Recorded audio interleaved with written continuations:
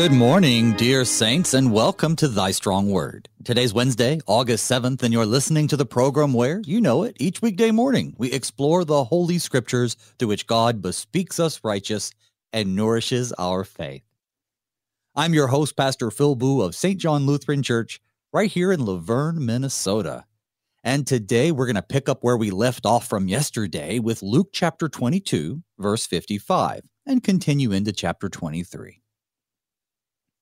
After Jesus was arrested, Peter follows behind and ultimately denies knowing Jesus three times, fulfilling Jesus' prediction. Jesus is then mocked and beaten as he faces the council. Jesus stands before Pilate and Herod facing false accusations and mockery, and despite finding no guilt in him, Pilate succumbs to the crowd's demands and sentences Jesus to be crucified. Jesus is then led to Golgotha, where, his, where he is crucified along with two criminals. And as he endures the agony of the cross, Jesus asks for forgiveness for his executioners, and he promises paradise to the repentant thief.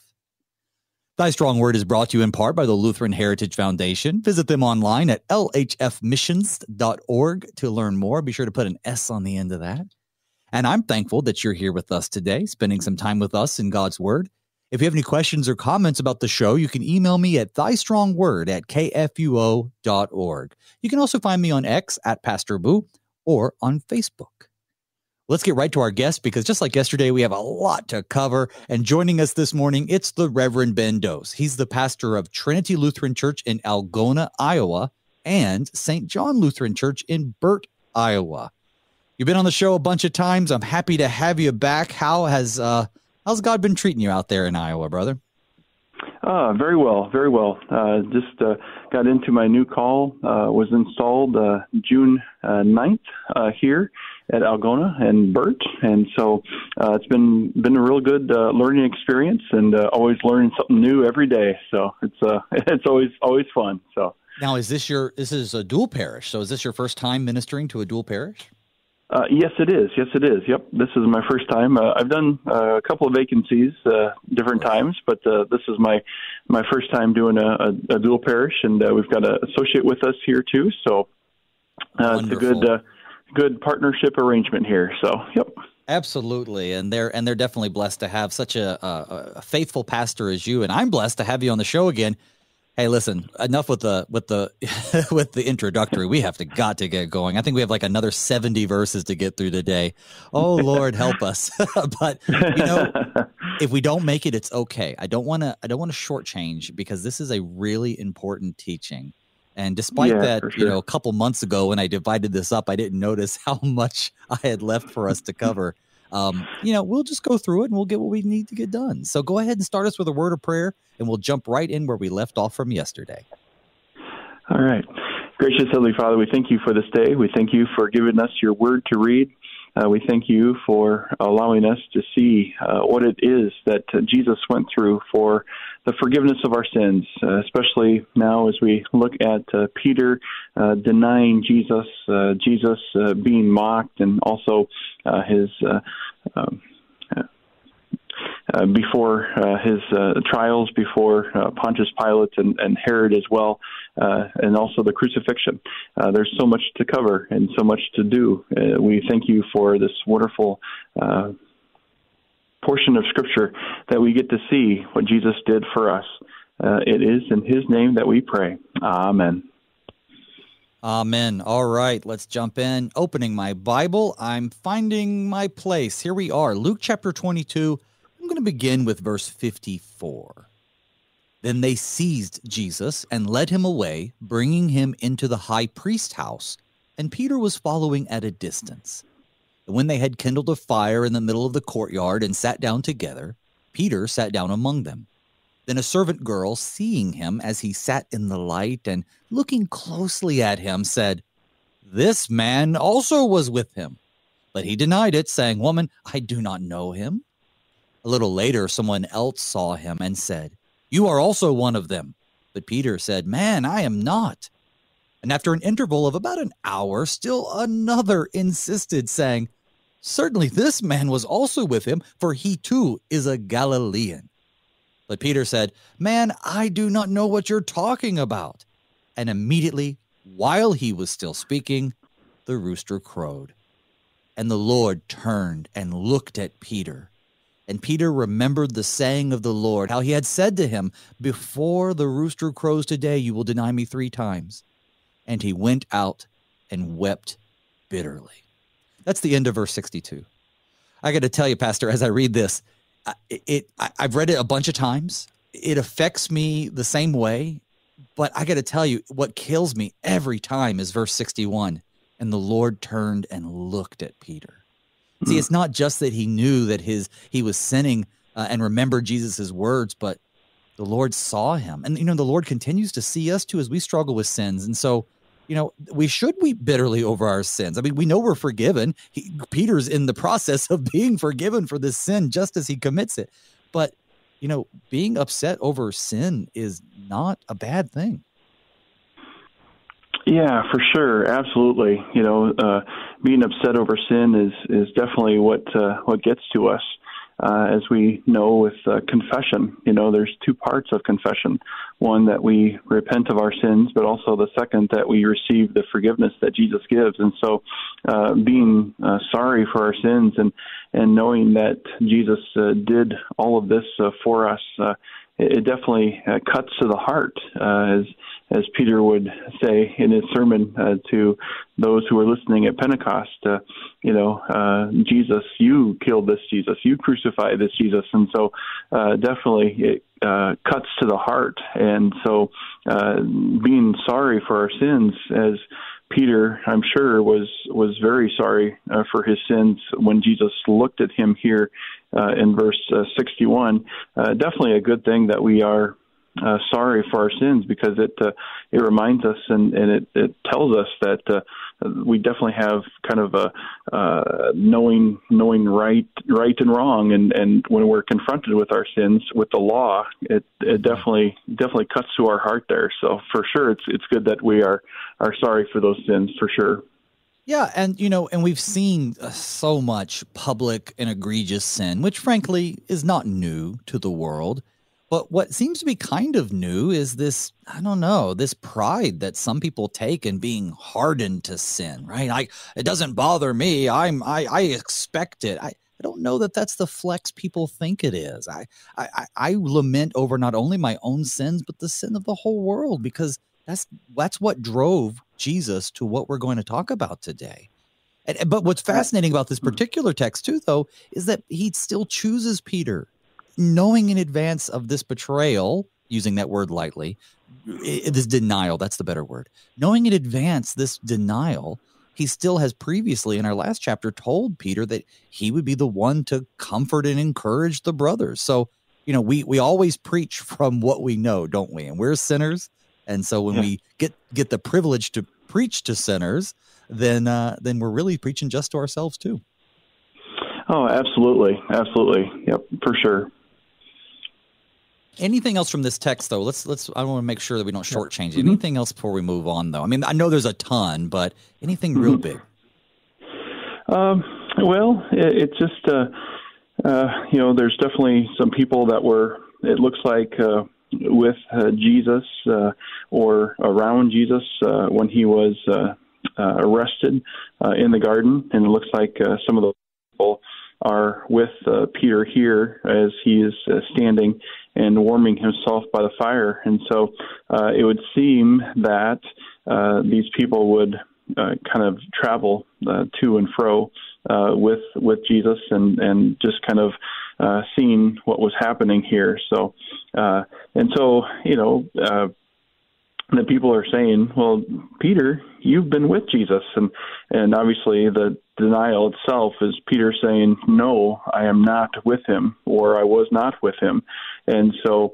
uh, it's definitely one of those things where where Peter is, uh, you know, uh, outright denying uh, knowing Jesus or, or being with him, and so uh, you know, how many times, uh, you know, haven't we in, in our in our sin uh, being able to, you know, say the same thing? You know, a lot of people, a lot of people, not, uh, you know, I would say a lot of people see this text and say, well, you know, if I was Peter, I would have done better, or I would have, you know, uh, I would have stick up for Jesus, you know, when uh, when he was. Uh, you know, being questioned like this, but uh, uh, in all reality, it's definitely something that uh, we probably wouldn't have done any better. And uh, we look at our own lives and say, "Oh, you know, well, I had this opportunity to share Jesus or or talk about Jesus with with somebody else, and I didn't because I was fearful or."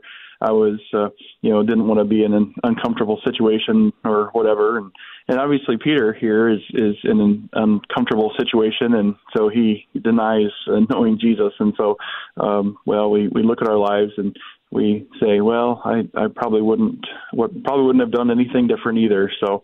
And that's where that uh, forgiveness comes in that uh, you talked about and what Jesus talked about too. So, well, you know, and sin is irrational. We know sin is irrational, yeah. but but I it makes me wonder though, what was Peter afraid of? Like why was he denying Jesus? And yeah. in the moment, of course, he is worried about something that I think most Christians struggle with. He's worried about what other people think. Like yeah. we could say, and it would have some validity to it, that Peter was worried about them turning him over and them arresting him too.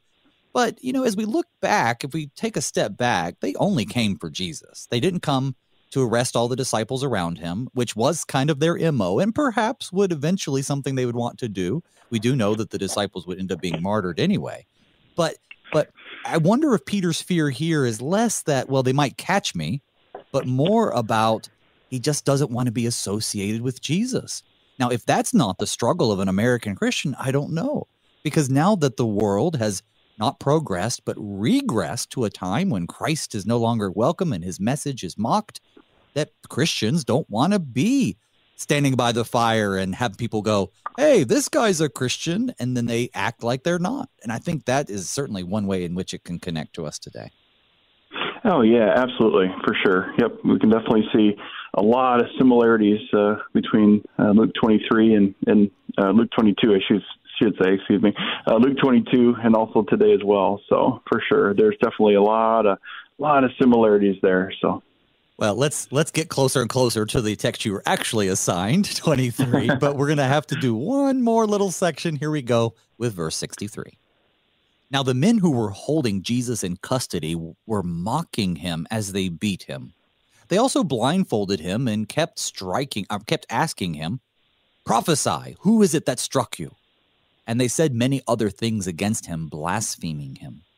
When day came, the assembly of the elders of the people gathered together, both chief priests and scribes, and they led him away to their council. And they said, If you are the Christ, tell us. But he said to them, If I tell you, you will not believe. And if I ask you, you will not answer.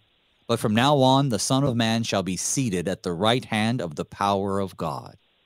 So they all said, Are you the Son of God then? And he said to them, You say that I am. Then they said, What further testimony do we need? We have heard it from ourselves, from his own lips. All right, so they're trying to entrap Jesus, right? It, it's not as though they they if he said yes, I'm God, they're going to be like, oh, we were wondering, you know, welcome, thanks for coming. No, they wanted him to say yes so they could persecute him they eventually got what they wanted.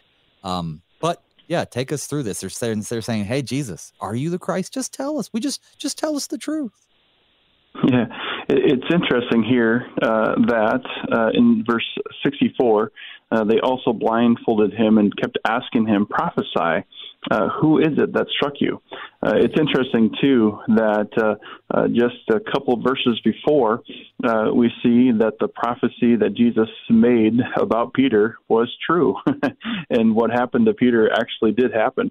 Uh, such a contrast that, you know, in verse 64, that we see the we see those who are uh, striking Jesus say, "Ah, prophesy. Who is it that struck you?" You know, and so and you're so right. Anyway, I've never, I never put that together. You're absolutely right. I mean, I mean, obviously, we know Jesus is the prophet of all prophets, God Himself, but but he just got done prophesying, at least as the narrative goes, and here they are yeah. mocking him as if he couldn't yeah. do it. But he chooses right. he chooses not to do it. He really chooses not to give them what they want, and that is to incriminate himself, even though, of course, he ends up doing that because they're going to take anything he says as incrimination. Um, exactly. Do you see significance then in the phrase, you say that I am? because I, before you answer, and and I, I I think we are so we have such the luxury to spend deep time in the Bible. I often think that we make a lot of associations and connections, which I don't know. May, may, maybe we're just being too creative. Hmm. Oftentimes, this "I am" is used to provoke or to evoke the name of God. Um, and hmm. sometimes I think just Jesus does it intentionally. Actually, I don't agree that he always does it intentionally. Sometimes I think it's just the language. What do you think about this section? Do you think that I am here is intentional? Uh, that's a good question. Uh, I I kind of look at it. It's it's kind of part of a bigger phrase, and so I'm thinking it's kind of maybe unintentional here, but I think it's uh, Jesus kind of uh, uh, using the the words of the. Um, the captors, I guess, uh, mm-hmm. kind of against them, I guess, is kind of what I kind of see it as. You know, uh, definitely, I I know that uh, those two little words, "I am," uh, carry so much weight, you know, especially in John's gospel. Um, but uh, here in, in Luke's gospel, I'm not real sure. I, I sure. would kind of maybe take it more as um, you know, just kind of uh, Jesus is kind of repeating uh, what uh, those who had him uh, were saying, and so uh, I would I would kind of be maybe maybe a little cautious, or maybe just kind of say, well, I think it's just kind of kind of just more just repeating what what they said. So. So when they say, "What further testimony do we need?" We've heard it ourselves from his own lips. That's yeah. their own interpretation of when he says, "Well, you're you're the one who's saying that I am," and they're like, "Yep, that's it. That's enough. That's all we need." Exactly. It's it, exactly. It's it's so funny. We we uh, we talk about this too. You know, we have heard it from his own lips. Well, sort of. you know, right, it, right. it's more it's more it's more from their own yeah, like you said, own interpretation. And so you know, it's kind of a kind of a runaround thing. You know, it just uh, makes you makes you kind of chuckle a little bit, but uh, uh, in a you know, in a in a holy way, I guess, if you want to say it that way. But uh, you know, yeah, I, uh, I, like to say it, it's it's cosmically funny, right? Like if you step yeah, back you and you're just yeah. like, yeah, this is just in the grand scheme of things, it's facetious, but isn't it also, uh, dare I say, politics? Right? I mean, words are twisted. Yeah. Uh, statements are taken mm-hmm. out of context. Uh, you know, little mm-hmm. sound bites and jabs, and and make no mistake, folks at home, that's what's going on on the ground here too this wasn't really a mm-hmm. religious trial. They didn't really want to know if he was the Son of God. They were concerned about their political and earthly power. And Jesus, whom I think some actually knew to be the Christ, but rather their positions in the world was greater, greater than accepting Jesus who had come and the Messiah. But let's let's keep on reading. Verse 20 uh, sorry, chapter 23 finally, verse 1. Then the whole company of them arose and brought him before Pilate and they began to accuse him, saying, We found this man misleading our nation and forbidding us to give tribute to Caesar, and saying that he himself is Christ, a king. And Pilate said to him, Are you the king of the Jews? And he answered him, You have said so. Then Pilate said to the chief priests and the crowds, I find no guilt in this man. But they were urgent, saying, He stirs up the people teaching throughout all Judea from Galilee even to this place. Now, when Pilate heard this, he asked whether the man was a Galilean. And when he learned that he belonged to Herod's jurisdiction, he sent him over to Herod, who was himself in Jerusalem at the time. Okay, pausing there at the end of seven. They take him before Pilate. They say, you know what? You know who would be a good person to take this guy off our hands? The hmm. government. So they take him to the Romans. And the accusations really kind of uh, betray them, don't they? I mean, they're they're making him out to be a political usurper rather than a religious figure. Yeah, for sure, for sure. You know, and and I guess uh, you know as far as what the what the the Jewish people and the Jewish leaders are doing there is kind of taking the path of least resistance a little bit. You know, as far as uh, let's just hand him over to Pilate, you know, because uh, you know that that'll that'll take care of everything. You know that they'll just kind of speed up the process. You know, and and uh, you know they want to kind of put it on, on Pilate's shoulders uh, rather than their own and that sort of thing. And so, uh, definitely, you know, there's so much going on here as we just talked about too with the government and and it's not just so much a uh, a religious thing going on here, but obviously in these verses uh, one, two, three, uh, we can definitely see that there's a lot of government stuff uh, being uh, taken taken place here too. So, uh, you know, the thing that uh, I see here uh, so much of is uh, in verses uh, two and three. Uh, as far as uh, you know, we have these titles uh, for Jesus. You know, um, uh, as far as uh, um, saying that he himself is Christ, a king. Uh, and then, you know, Pilate asked him, "Are you the king of the Jews?" And he answered, "You have said so." And so, anyway, there's uh, there's a lot of uh, uh, different names and, and titles uh, for Jesus that are happening here that uh, uh, really um, kind of have some some weight in some sense. Uh, they kind of have some weight as far as uh, who who Jesus says he is, and and uh, who the people think he is, and who Pilate says he is, and and so anyway, it gets a maybe a little confusing, but it also has a lot of weight to you know basically uh, speeding up the process of the trial too. So. Well, in the same way that the Sanhedrin or the council here kind of passed the buck to mm-hmm. Pilate, soon as Pilate hears king of the Jews or asks him about being the king of the Jews, I think what Pilate means by king of the Jews is absolutely different than what we know it to be and what Jesus understands it to be. He thinks of Pilate, right? The the guy who's yeah. been kind of put in charge of the Jews. It's it's almost like a, a Native American reservation, if you wanted an example in in American culture. You know, they had some autonomy, but they were still well within the empire of Rome. So he says, Oh, King of the Jews, huh? Oh, you're from Galilee, huh? Well, hmm. let's send you over to Pilate. Yeah. Let's make you his problem. That's what yeah. happens starting in verse 8. Let's pick it up there. Sure. When Herod saw Jesus, he was very glad, for he had long desired to see him because he had heard about him and he was hoping to see some sign done by him. So he questioned him at some length, but he made no answer. The chief priests and the scribes stood by, vehemently accusing him. And Herod, with his soldiers, treated him with contempt and mocked him. Then, arraying him in splendid clothing, he sent him back to Pilate. And Herod and Pilate became friends with each other that very day, for before this they had been at enmity with one another. Pilate then called together the chief priest and the rulers of the people. Let's not go into that just yet. We'll pause there at end of 13. Sure. Well, isn't that nice? Herod and Pilate become friends. I, I think it's funny that Luke includes that detail because they yeah. would have been at enmity with each other. I mean, Pilate was sure. sent to this area, if I if I understand my history, because mm-hmm. he ruled with a heavy hand.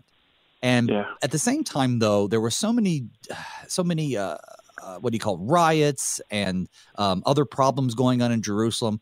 Pilate was kind of Caesar's answer to I'm going to send this guy in. Pilate's going to take care of it. He's a no nonsense guy, which then makes sense why, when the Jews brought Jesus to Pilate, they were pointing out things like he causes divisions and he's teaching people not to uh, not to uh, give to Caesar. And oh, and by the way, he thinks he's a king. And but Herod and Pilate would have had the same sort of political animosity, but nothing like a common enemy to bring you together. And so these two governing officials become friends over their persecution of Jesus. Strange bedfellows. But regardless, uh, Herod should have known better. But it sounds to me, brother, like Herod, well, wasn't much. He might have been king of the Jews in name, but he didn't seem to have much interest in the Jews and their faith in Messiah. Yeah, that'd be that'd be uh, totally correct, exactly.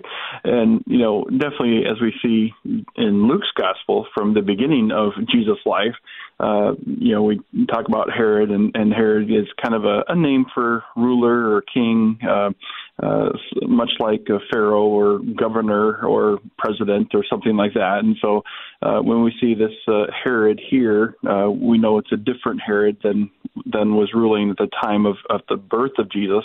But you know, the Herod that was ruling at the time of the birth of Jesus uh, definitely was like, oh, you know, who who is this guy, this King of the Jews? He's going to take my throne. He's going to take over, you know, my my position and, so uh, yeah, he he didn't have a clue uh, really who Jesus was or uh, what Jesus was uh, supposed to do. Uh, he didn't have probably a lot of uh, uh, you know literature. He didn't know the literature of of the uh, of the Old Testament, uh, you know, books, and uh, you know he had to uh, kind of uh, you know ascertain from from his uh, his own officials and things where Jesus was to be born and that sort of thing. And so, anyway, uh, you know, he didn't. Yeah, he didn't. Uh, uh, he was kind of like you said, uh, the king of the Jews in name, or the ruler of the Jews in, in name only, and not so much.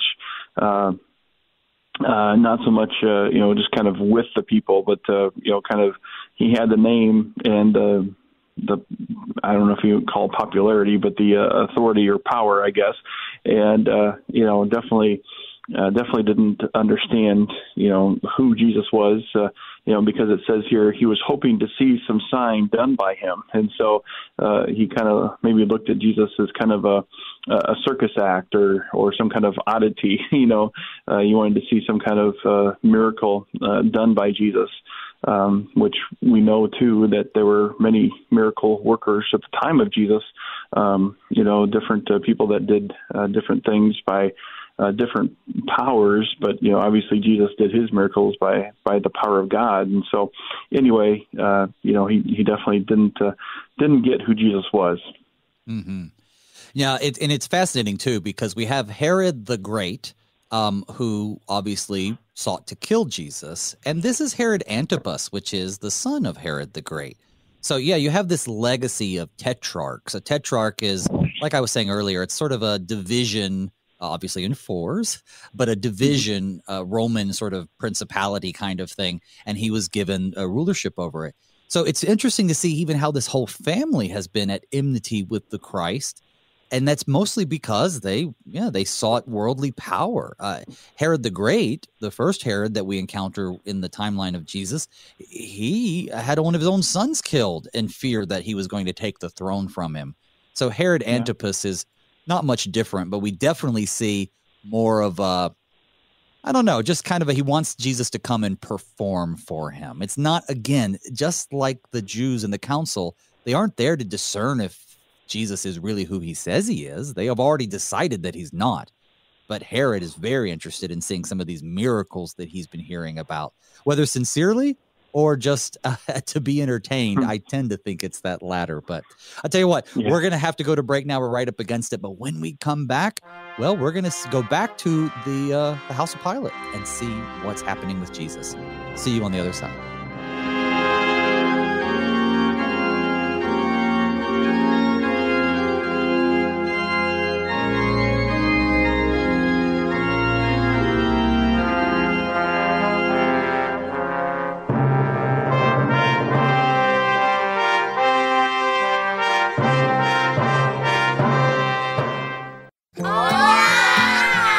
These are the voices of young Lutherans in Mexico City, children who are excited to learn more about their Savior, Jesus. But they need our help because good Lutheran books for kids in the Spanish language are in short supply in Mexico. To learn how you can help tell Spanish speaking kids everywhere about Jesus in a language they can understand, go to the Lutheran Heritage Foundation website at lhfmissions.org forward slash Juan 316.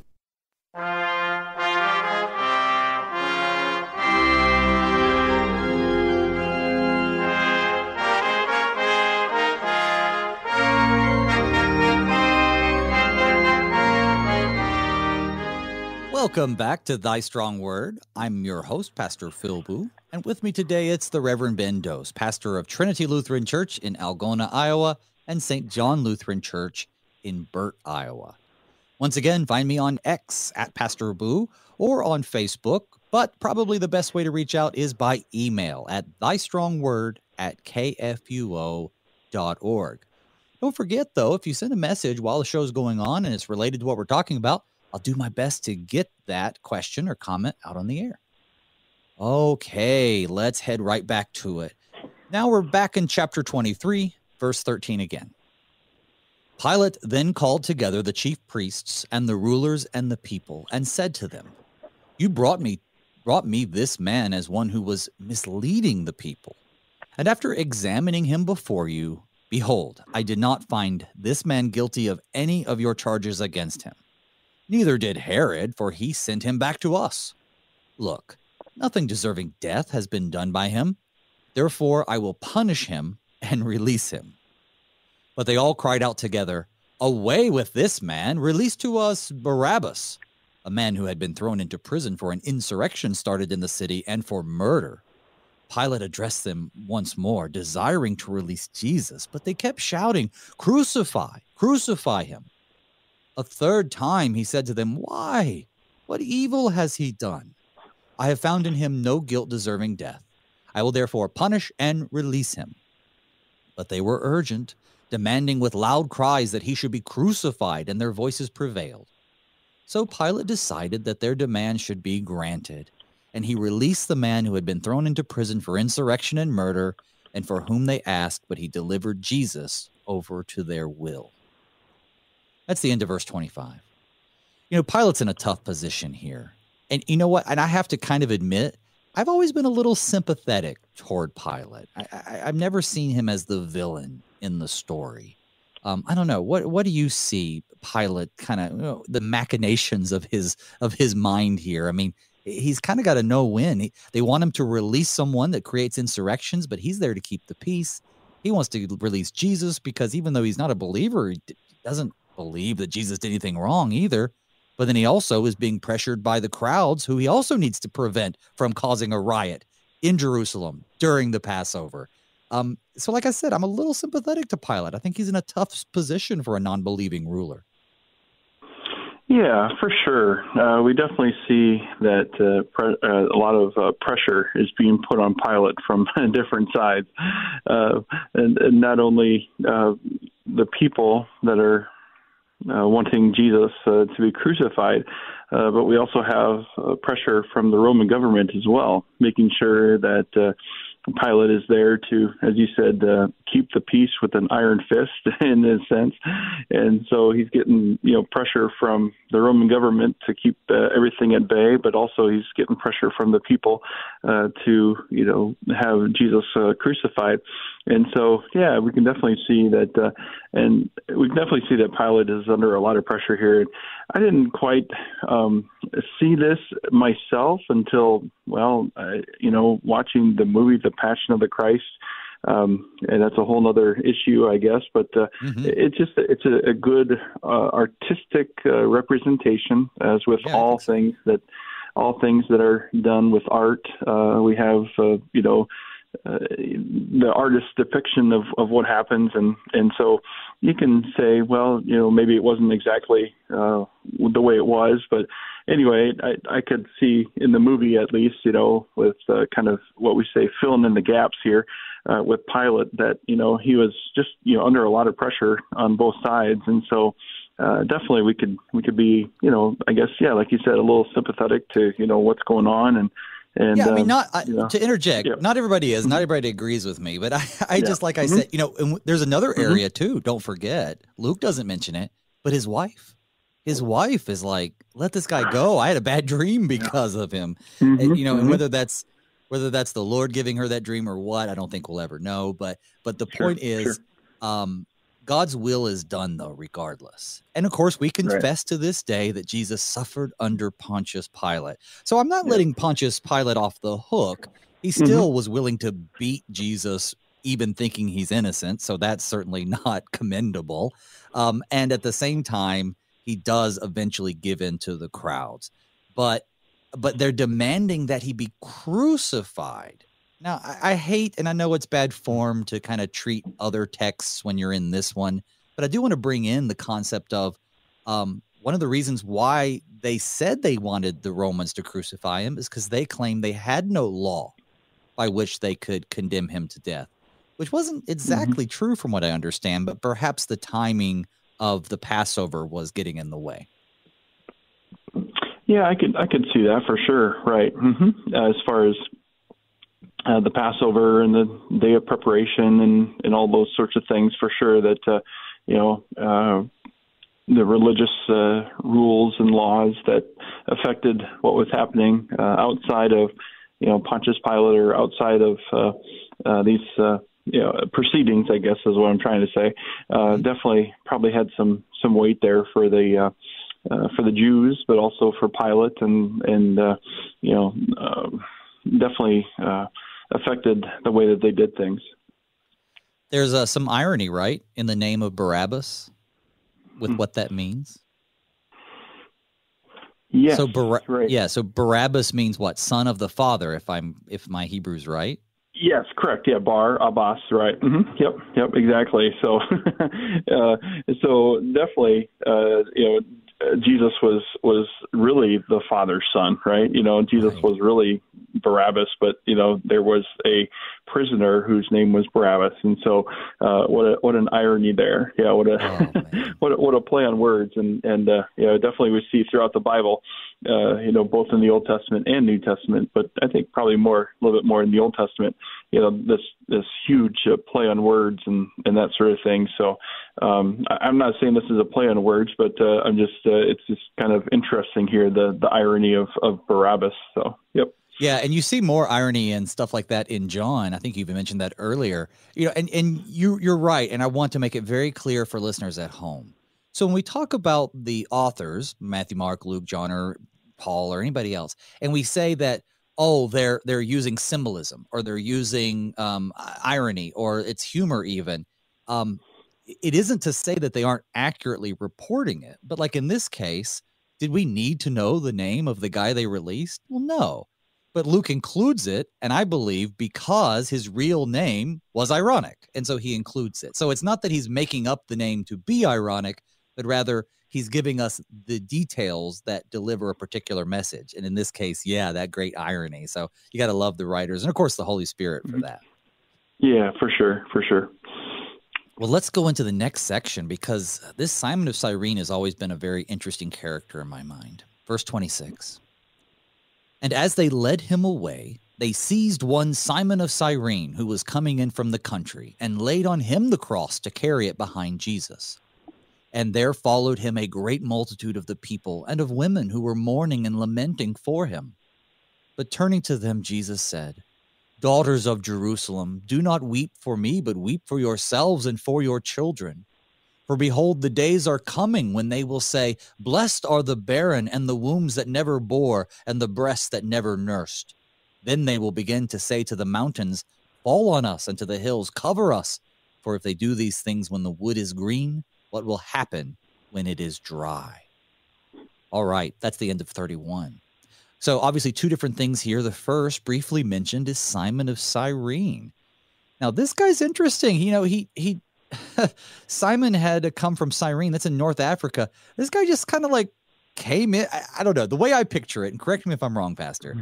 is Simon shows up, and why he's there, we don't know. There's some speculation that he might be a believer later or something like that. But it just seems like they pick him out of the crowd. I mean, what if this guy was just like walking home from getting some groceries and now suddenly he's carrying a cross?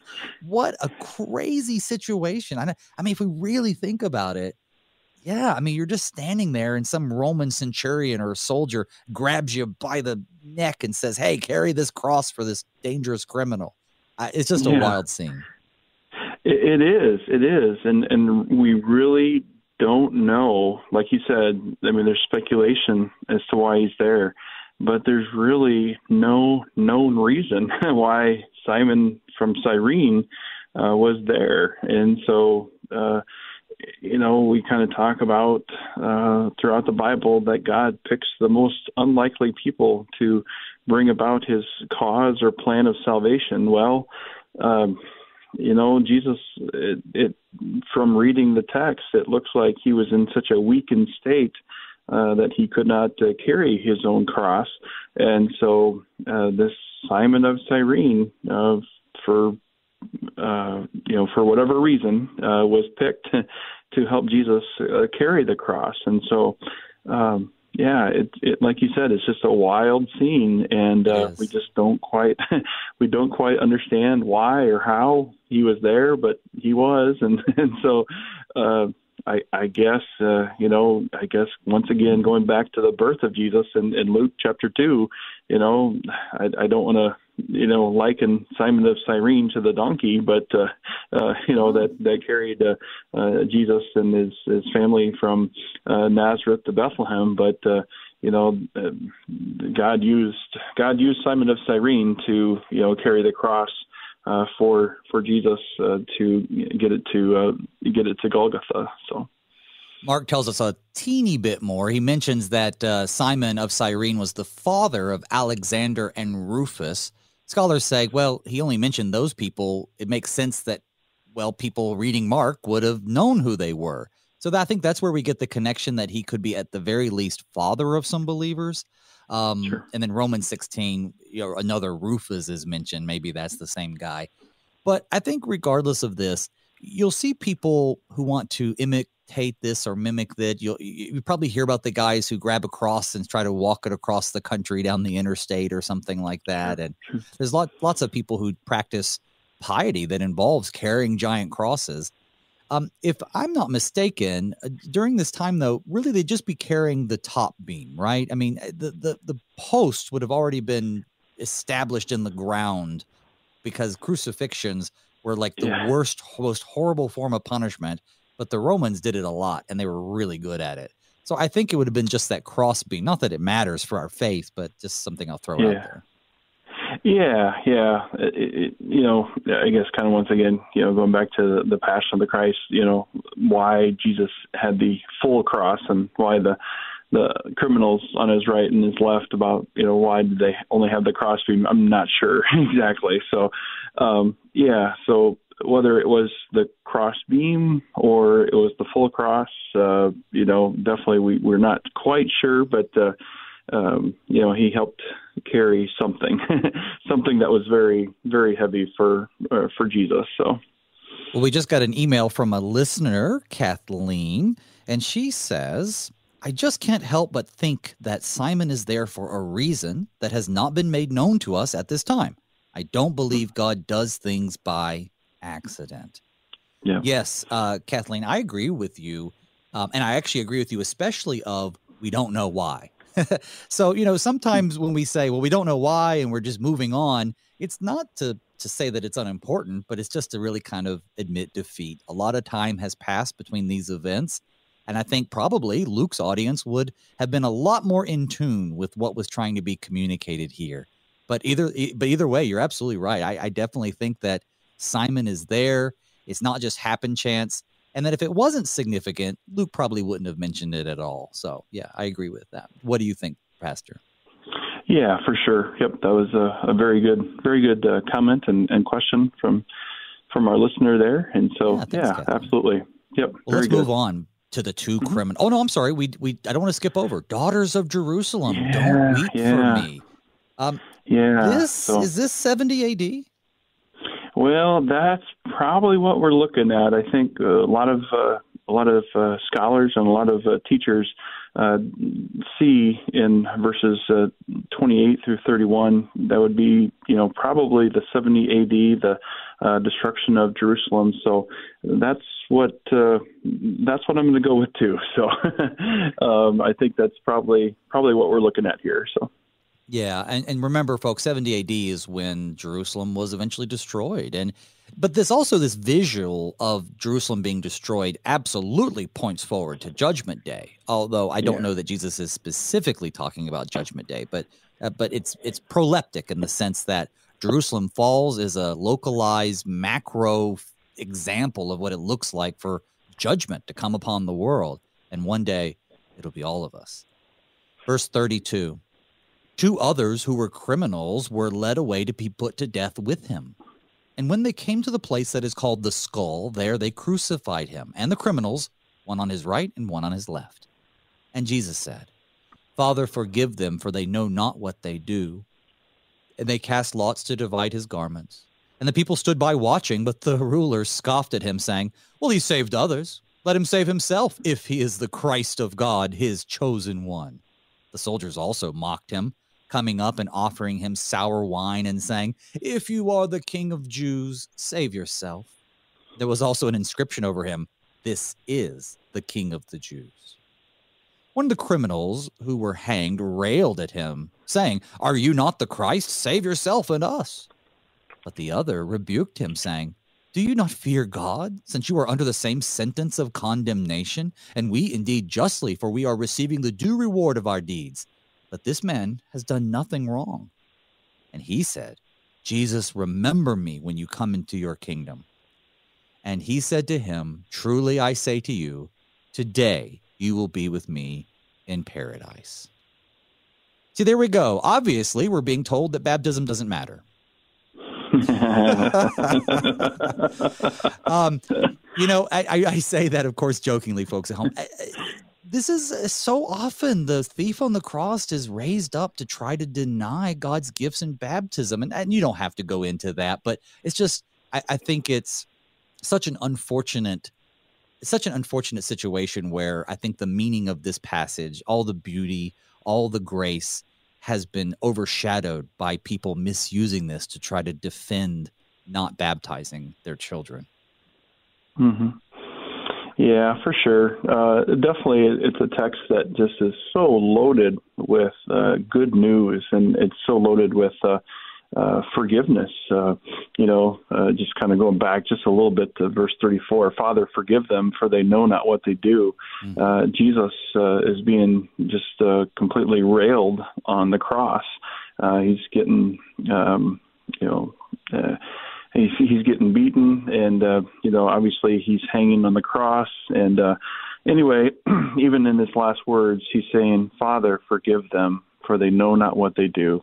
And so, even at the end of his life, after all the suffering and all the pain and all the things that he's going through, uh, here he's still uh, speaking words of forgiveness, and and that's that's who Jesus is, and that's what Jesus has has come to do.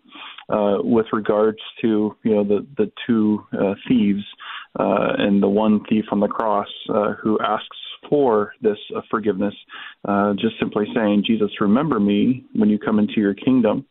Um, you know, I, I guess I kind of like to say, well, you know, if if Jesus had met him earlier, he probably would have been baptized, or or you know, um, you know, as far as uh, you know, as far as the well, you can be saved without baptism. Well, uh, okay, yeah, you can be saved without baptism, but uh, we put our faith in baptism because uh, Jesus uh, gave it to us uh, to use it for our good. It's a good, godly gift that He gives to us uh, for His grace, and so um, I would like to say that you know um, this you know, thief on the cross. Uh, you know, uh, probably given a little more time, probably would have been baptized. But but the the word is the word is sufficient, and uh, uh, the word is is Jesus saying, uh, "Truly I say to you, you will be with me in paradise." And so uh, you know that's where that's where our trust lies is is in that word and and what is part of baptism but the water and the word together. And so uh, yeah just just trusting trusting in that word of Jesus uh, to the thief on the cross um, you know that's the the grace and the good news that we have here. Exactly. The b- baptism obviously gets its power from being combined with the word of God's promise. And so, you know, that's what we go to baptism for because God tells us this is the means by which I want you to make disciples, baptizing them and teaching them. In this mm-hmm. case, and I've heard it said, and I mean, I don't know that it's definitive argument, but there's also no evidence that this man had not been baptized. I mean, just because I mean, the assumption is that as soon as they're baptized, they wouldn't go on to be a thief. Well, that, that we know that that's not true. So it could have been mm-hmm. baptized, maybe connected. Maybe that's why he knew of Jesus uh, more than yeah. this other guy. Um, but then also, you know, God is a God who can do what he wants, but we certainly shouldn't put him to the test, hoping that he'll just make exceptions. So, you know, if you mm. really want to be saved without being baptized, then I guess go hang on the cross next to Jesus. But thankfully, that's not something that God calls any of us to do. Hmm. So uh, let's keep on going. 44.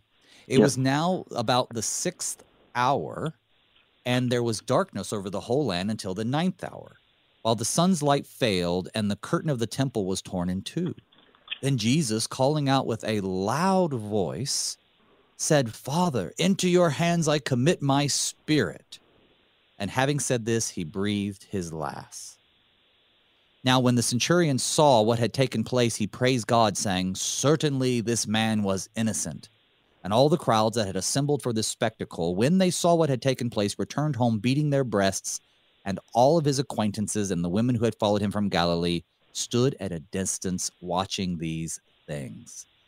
That's the end of verse 49. We are seven verses short of finishing the chapter, but that's where we're going to have to stop. We'll pick up the rest tomorrow. But uh, yeah, take us through this last section. Oh, wonderful. Okay. Uh, so uh, we have here, you know, the darkness that is covering uh, the land. It says here, the whole land. Uh, whether that's the whole earth, I'm not sure for sure, but uh, anyway, it definitely says the whole land. So let's just, you know, kind of keep it at the place where where Jesus was. Uh, uh, anyway, uh, the curtain of the temple uh, being torn in two uh, very thick uh, temple curtain, uh, very, very thick, very rough. Um, having that torn in two is a huge kind of um, uh, uh, thing that happened. That you know, basically, God said now uh, the holy of holies is is open uh, to all people because of uh, Jesus' uh, death here. Um, uh, because of what happened here on the cross, uh, Father, into your hands I commit my spirit. Um, uh, that's just you know something that uh, Jesus uh, finally uh, you know said it's finished. Uh, even though uh, even though he's not saying it's finished in those words, he's still saying, uh, "God, I, I Father, uh, uh, my spirit is is now with you, or uh, in, into your hands I commit my spirit." And so, um, uh, anyway, uh, and then we have the the centurion uh, seeing this, uh, praise God. Certainly, this man was innocent uh, knowing that Jesus was, uh, you know, an innocent man, uh, and so uh, all kinds of all kinds of things are happening here uh, at the death of Jesus, and so uh, we we know from the text and we know from other places that when Jesus uh, died, it was uh, the payment for all sins of all time, and so uh, that's the uh, the good news that we have uh, for for us mm-hmm. today, even though it's uh, it's heavy with the, the death of Jesus, uh, but still there is the forgiveness of sins that uh, we have because of it. You know, and that centurion, you know, here we have someone who is not only involved directly in the crucifixion of Jesus, but he's not a Jew. He's a he's a Gentile. He's not a believer, and yet at this witness he believes. He believes. He says, surely he was the Son of God. He's even talking in the ways that Jews would, uh, not one of the gods, as most pagans would have said. And so, yet again, more proof that faith comes by God, right? Certainly, this man was innocent, but uh, elsewhere we have him saying, certainly he was the Son of God in another text. So, yeah, just this beautiful testimony from the Gentiles. It foreshadows that Jesus died for all people, not just the Jews but even for those who were actively taking his life. What a blessing. Because of Jesus, we don't have to worry about mm-hmm. pleasing God by keeping the law perfectly because he's done that for us. And so I appreciate you sharing the good word with us today. I'd like to thank my guest, the Reverend Ben Dose, pastor of Trinity Lutheran Church in Algona, Iowa, St. John Lutheran Church in Burt, Iowa. Those two churches have an excellent new pastor. Thank you, brother, for being on the show. Oh, thank you so much, Pastor Booe. All right, folks. Tomorrow we're going to keep on going. We'll catch up and then we'll actually finish the book. We're going to finish Luke and then we're going to move right into First Thessalonians and then Second Thessalonians after that. So lots of good stuff coming up. I will see you when you come back. Until then, may God's peace and blessings be with you all as we pray, Father, keep us in thy strong